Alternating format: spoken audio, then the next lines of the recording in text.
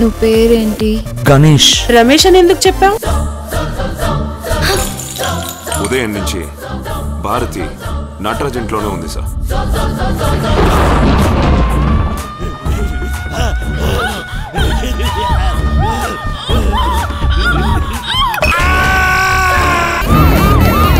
ఈరోజు పొద్దున ఈ అమ్మాయిని ఆటో ఎక్కిందా? అన్ని స్టేషన్స్కి ఇన్ఫార్మ్ చేయండి. వాడు ఎలాగైనా దొరకాల్సిందే వాడా